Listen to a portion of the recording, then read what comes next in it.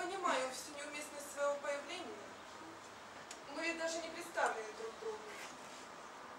И правила приличия, которые я вынуждена нарушить, продиктованы чрезвычайностью обстоятельств. Я не знаю, что еще положено говорить. Меня зовут Анна Дэнди. С этого не надо было начинать. Меня учили правилам этикета, но они мне с трудом даются. Мне тоже. Поэтому можем говорить как нормальные люди. Какого черта, девочка, вы притопались? Мало вам сплетен и слух? Теперь хотите дать им подтверждение? Наоборот, мистер Кинг. Я хотела извиниться за те неприятности, которые доставила вам в силу невероятных А обстоятельств. стоп! Не переходите на этот идиотский, велеречивый тон. Вы дочь торговца, а я сын уличного клуба. И по нашим правилам вам следует задрать юбку и хорошенько выпороть. За что, сэр? Саша, за все, леди. За то, что бежали из дому. За газетные сплетни. За то, что ваш полоумный дедушка-жених бегает по Лондону и грозит мне всеми карами. А сейчас вы напялили эту дурацкую вуаль и поссорили меня с самим принцем Уэльским. Я ж не нарочно. Ну не реветь. Только слез тут не хватало. Сюда в любой момент могут войти. Так уже болтают, что я соблазнил вас и обесчестил. Между прочим, вы достаточно хороши для подобной версии. А где вы прячетесь? В театре. Здесь? В Дрюри Лейн? Да. У меня знакомая костюмерша. Она пустила меня в одну из комнат, там, где стоит декорация Ричарда Третьего. Ужас. Ужас. Превращать королевские покои в ночлежку. Там мыши бегают. Мыши. Мыши. Бедная моя. Мыши. Нет. Нет. Надо сразу поставить точку в этом вопросе. Эм, Послушайте, юная леди, я, конечно, очень уважаю ваш порыв, вашу страсть, но на правах старшего все-таки дам вам один совет. Выкиньте всю эту дурь из головы. Понимаете, так уж заведено, что девушки влюбляются в своего кумира, но это все мираж, самообман, подсвеченный на сцене, приправленный щемящей музыкой. Когда же вы пытаетесь к нему прикоснуться, он исчезает. Или обретает черты реальности, довольно суровой, плоской. Я что-то не пойму. Вы про кого? В каком смысле? Ну, вот про мираж с плоскими чертами. Да про себя, черт подери. Разве вы не влюблены в меня? С чего вы взяли? Абсолютно? Да ни капельки, не вот столечко. Да, Анна. Вас действительно плохо учили вежливости. Ну тогда почему вы сбежали из дому и прячетесь в театре? Я хочу быть актрисой. Всего-то? Разве этого мало? Да, мне почему-то показалось... Нет, какое самомнение, а? Бывает. Молчать. Когда я говорю о самомнении, я прежде всего имею в виду вас. Видишь, сбежала она дому. Распугивает здесь мышей и думает, что этого достаточно, чтобы стать настоящей актрисой. Я много занималась, мистер Кинг. Я выучила наизусть роли. А, да этого мало. А, актер не тот, кто прикрывается чужим текстом. И вообще, мой дед и прадед были актерами. Я Кит четвертый. И в моих жилах течет особая кровь. Не хуже королевской. Во всяком случае, горячей. Так что, сударыня, можно приобрести титул лорда за приданное, но не талант. Этот титул дается Богом. Ну, может быть, он у меня есть. Я ведь и пришла, мистер Кин, за тем, чтобы вы меня прослушали. Ах, но у меня абсолютно нет на это времени. И к тому же я не выношу актерские показы. Ладно. Что вы там приготовили? Что скажете? Например, монолог. Джульетты. Это и так услышу вечером. У меня сегодня спектакль. А сейчас я отдыхаю. И, между прочим, жду даму. Я это поняла. И не уходите? Ну что ж, уже неплохо. Значит, вы готовы побороться за место на сцене. Хорошо, даю вам минут десять.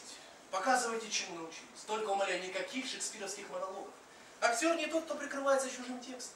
В любой момент он должен включить воображение, имитировать любое чувство. Любовь, страсть, ненависть, равнодушие, все что угодно. Итак, вы готовы? К чему? к этюду. Представьте, вы влюблены в меня. Пришли объясняться. Начинайте. Прямо так, сразу?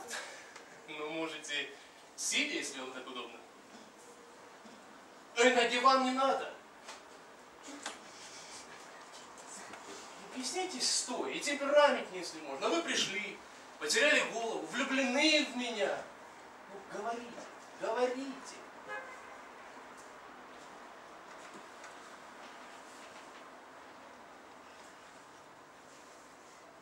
Это действительно так, мистер Кин. Я люблю вас. И даже если наш этюд вам не понравится, и вы прогоните меня прочь, я не перестану любить вас. Хорошо. Я полюбила вас давно. Еще маленькая девочка, когда впервые увидела. В каком спектакле?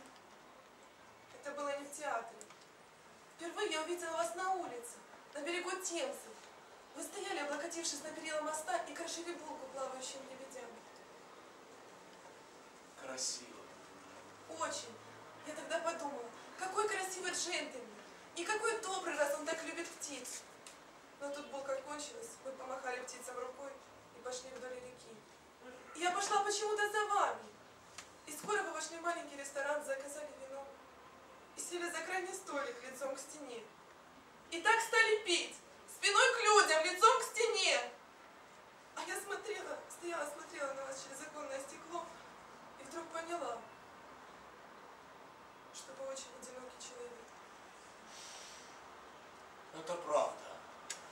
Стала часто приходить к этому ресторанчику. И часто видела вас там, сидящего лицом к стене. Иногда я старалась попасться вам на глаза, но вы все равно меня не замечали.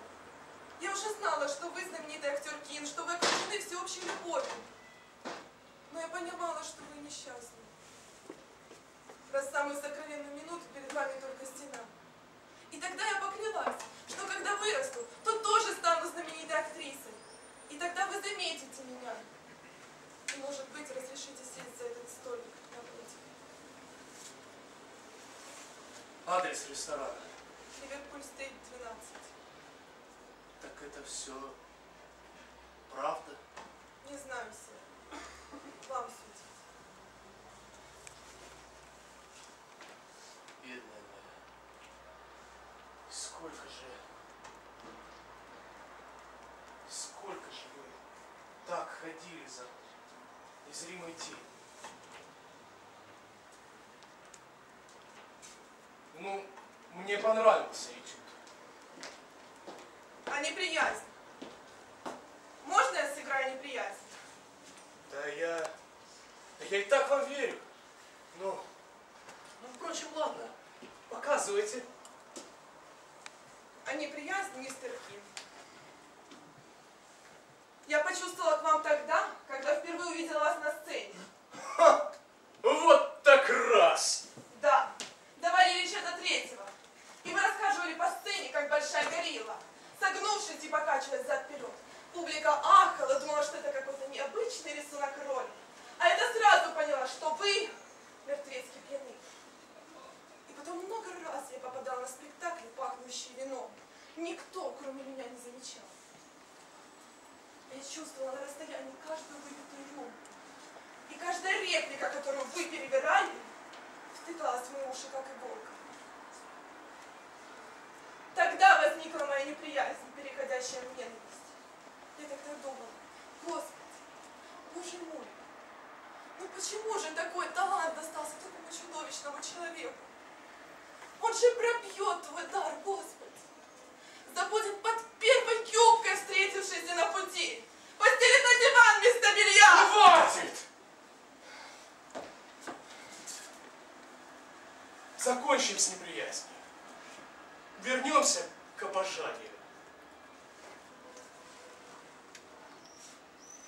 Нет, мистер Ким. Теперь у меня остался только этюд на равнодушие. И мне действительно все равно, возьмете ли вы меня в свой театр или нет. Главное, вы меня выслушали.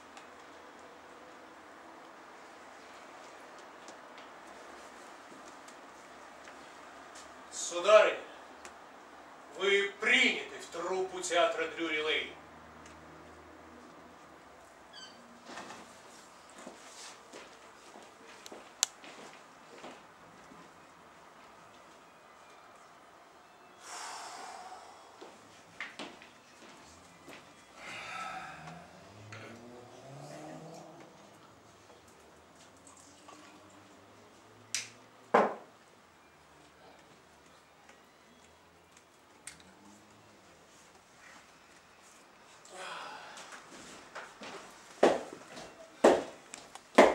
Мистер Кин, Что вам угодно, милорд? вы это знаете лучше меня. Я не почитатель ваших талантов, чтобы просто так приходить в эту уборную. Это ведь называется у актеров уборная? Не так ли? Странное название. У простолюдинов уборная именуется совсем другое помещение. Если вы пришли меня оскорбить, боюсь, вам это удастся, милорд. Ну что вы, оскорблять достойных людей входит в вашу профессию.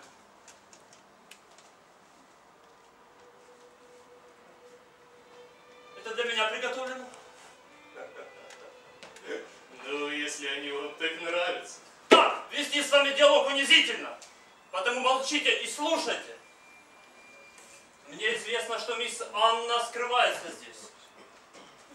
И сколько бы ни рычали за нее уважаемые люди, я больше никому не верю.